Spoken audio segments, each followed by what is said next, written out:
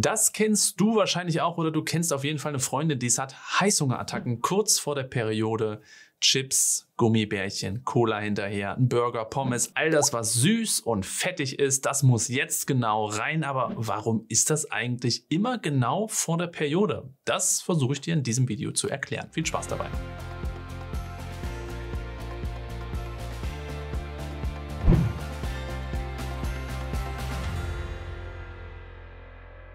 Mein Name ist Dr. Med Konstantin Wagner. Ich bin Gynäkologe und mit diesem Kanal möchte ich eigentlich dir helfen, dir selbst besser helfen zu können. Du kriegst von mir das Fachwissen und du musst mir eigentlich gar nichts geben. Wäre aber nett, wenn du ein Abo da lässt, da würde ich mich freuen. Cravings werden diese Heißhungerattacken auch genannt und ist eins der klassischen Symptome kurz vor der Periode. Vielleicht hast du ja aber auch mit Brustspannen zu tun oder Gereiztheit, Schlafstörungen oder auch Kopfschmerzen. All das sind ja auch so klassische Symptome der prämenstruellen Phase, aber Heißhunger gehört eben auch dazu. Und hier gibt es wissenschaftlich so ein paar Ansätze, woran das eigentlich liegen kann und das ist total interessant und macht teilweise evolutionstechnisch auch super Sinn. Erster wichtiger Baustein ist Insulin. Das wirst du kennen. Insulin ist ja ein Hormon Hormon, was unseren Blutzuckerspiegel konstant hält.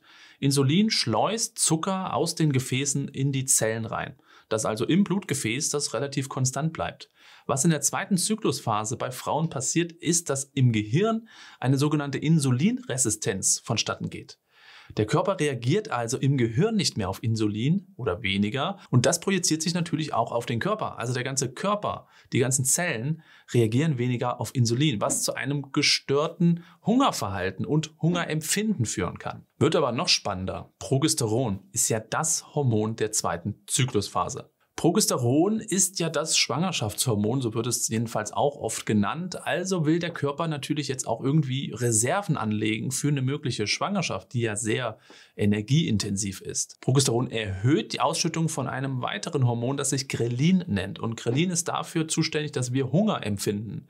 Je mehr Progesteron, Gelbkörperhormon da ist, desto mehr Grelin, desto mehr Hunger haben wir, weil eben die Reserve angelegt werden möchte für eine mögliche Schwangerschaft. Und zusätzlich verringert Progesteron und auch das Östrogen, das andere weibliche Hormon, dass die Energiereserven aus der Leber freigesetzt werden. Die Leber sagt also, beziehungsweise die Hormone sagen der Leber, nee, nee, lass mal die Energiereserven bei dir, denn die brauchen wir ja vielleicht für eine mögliche Schwangerschaft. Also beide Hormone haben einen Energiespareffekt in der zweiten Zyklusphase. Und wenn wir schon bei den beiden Hormonen sind, jetzt wird es wirklich super spannend und total logisch.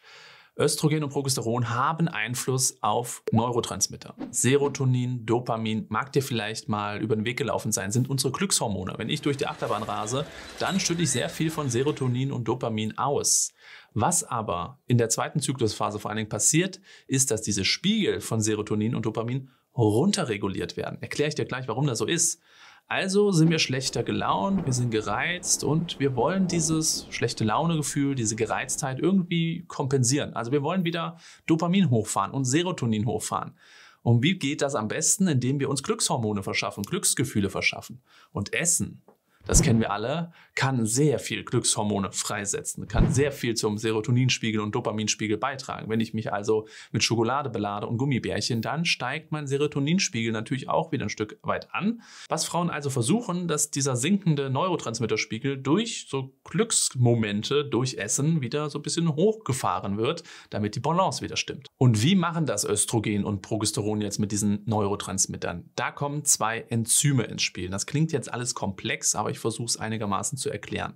Es gibt ein Enzym, das nennt sich Katechol-O-Methyltransferase und es gibt ein Enzym, das nennt sich Monoaminooxidase. Ja, das klingt jetzt ziemlich fachchinesisch. Stellt euch diese beiden Enzyme einfach als eine Art Schere vor, die diese Neurotransmitter Serotonin und Dopamin zerschnibbeln. Also auch inaktivieren, denn so ein zerschnippeltes Hormon, das kann nicht mehr wirken. Östrogen hemmt die Bildung dieser Enzyme, also dieser Scheren. In der ersten Zyklusphase, wo Östrogen also hochgeht, werden diese Scheren in die Schränke gepackt. Da funktionieren diese Scheren nicht, also bleibt auch Serotonin und Dopamin, unsere Glückshormone, sehr hoch und sehr stabil. Die Folge, Frauen sind zu dieser Zeit wahnsinnig gut drauf, energiegeladen, man spricht auch von dem Glow, also man hat eine tolle Haut, weil Östrogen auch noch Wasser einlagert und so weiter und so fort. Und dieser Glow, sagt man, macht natürlich auch evolutionsbiologisch Sinn, denn ich möchte ja auf mein Gegenüber momentan sehr glücklich und gut und energiereich wirken, denn jetzt kommt ja bald der Eisprung und das ist ja für den Geschlechtspartner mir gegenüber das Zeichen, ich werde mal eine tolle Mama, weil ich bin energiegeladen und so weiter.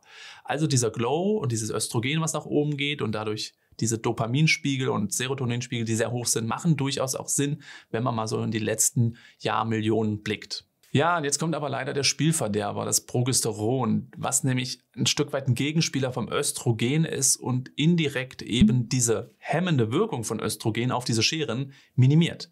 Die Scheren kommen jetzt also aus den Schränken wieder hervor und die fangen wieder an zu schnibbeln. Serotonin, Dopamin wird wieder weiter abgebaut, sodass sie nicht wirken können und wir rutschen wieder in die prämenstruelle Phase, wo ja viele auch mit schlechterer Laune zu tun haben. By the way, das ist auch der Grund, warum eine kombinierte Pille, zum Beispiel also eine Antibabypille, oftmals diese zweite Zyklusphase ein Stück weit stimuliert, denn die körpereigenen Hormone, Östrogen, Progesteron, werden ja zum Teil wirklich runtergefahren und es ist eher so eine Simulation der zweiten Zyklusphase, warum viele auch unter der Pille an der Stimmung merken, dass das nicht mehr so toll ist, wie es vielleicht vor der Pille war. Nur so als Randnotiz. So, jetzt haben wir schon mal so ein paar wissenschaftliche Erklärungen. Erstens, wie das Ganze zustande kommt und vor allen Dingen zweitens, dass das ziemlich normal, weil eben auch erklärbar ist. Ja, es gibt Frauen, die leiden da mehr drunter und es gibt Frauen, die leiden da weniger drunter. Woran das wieder liegt, mag daran liegen, dass wir alle unterschiedliche Menschen sind, auch mit unterschiedlichen Ressourcen.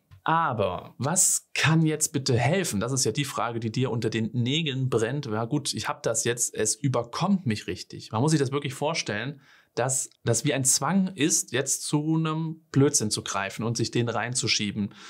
Und diesen zu unterdrücken ist extremst schwer. Das kann man sich, glaube ich, immer gar nicht vorstellen, wenn man noch nie drin gesteckt hat in so einer richtigen Heißhungerattacke. Da gehört schon wahnsinnig viel Disziplin zu, zu sagen, nö, Schokolade.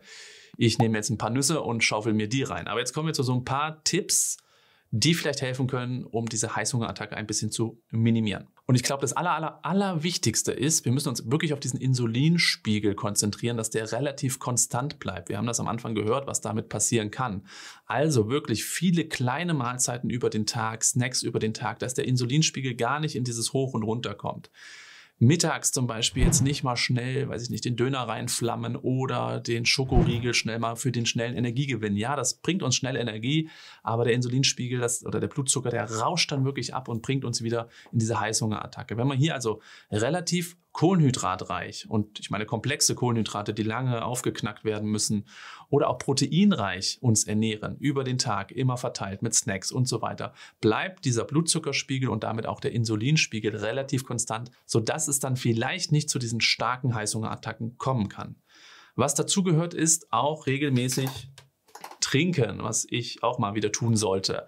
Denn sobald der Magen natürlich ein Stück weit gefüllt ist, kommt vom Magen, von der Wand her ein Sättigungsgefühl auf. Der sagt, oh ja, ich werde ja gedehnt, ich bin satt, also brauche ich jetzt nichts essen. Auch hier passiert hormonell komplexe Dinge, weshalb der Griff zum Wasserglas am Tag öfter passieren sollte, vor allen Dingen in der zweiten Zyklusphase.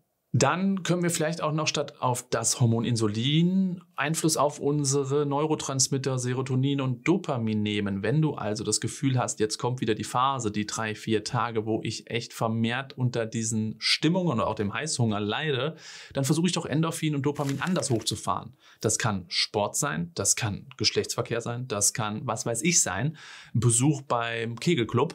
Hauptsache, ihr habt das Gefühl, ihr macht etwas, was euch glücklich macht zu dieser Zeit, damit eben Serotonin, Dopamin ausgeschüttet werden und ihr nicht in dieses Loch reinfallt.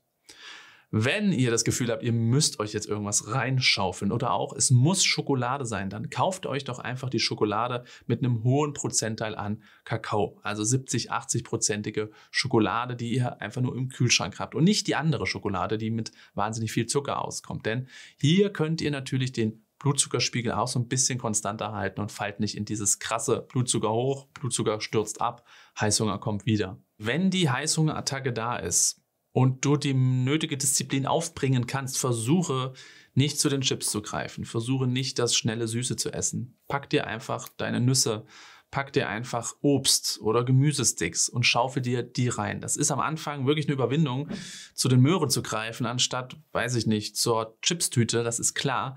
Aber wenn der Magen erstmal gefüllt ist und so langsam das Sättigungsgefühl reinkommt, dann ist es meistens echt ein gutes Gefühl.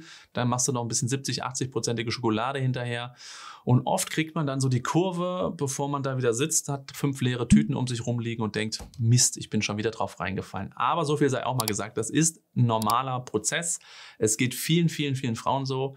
Es ist auch mal nicht schlimm, wenn das mal ein, zwei Tage sind. Wenn du dich sonst super ernährst, ist das jetzt auch kein Weltuntergang. Aber wir wissen alle, gesund ist es natürlich nicht, wenn man da viel Müll zu sich nimmt.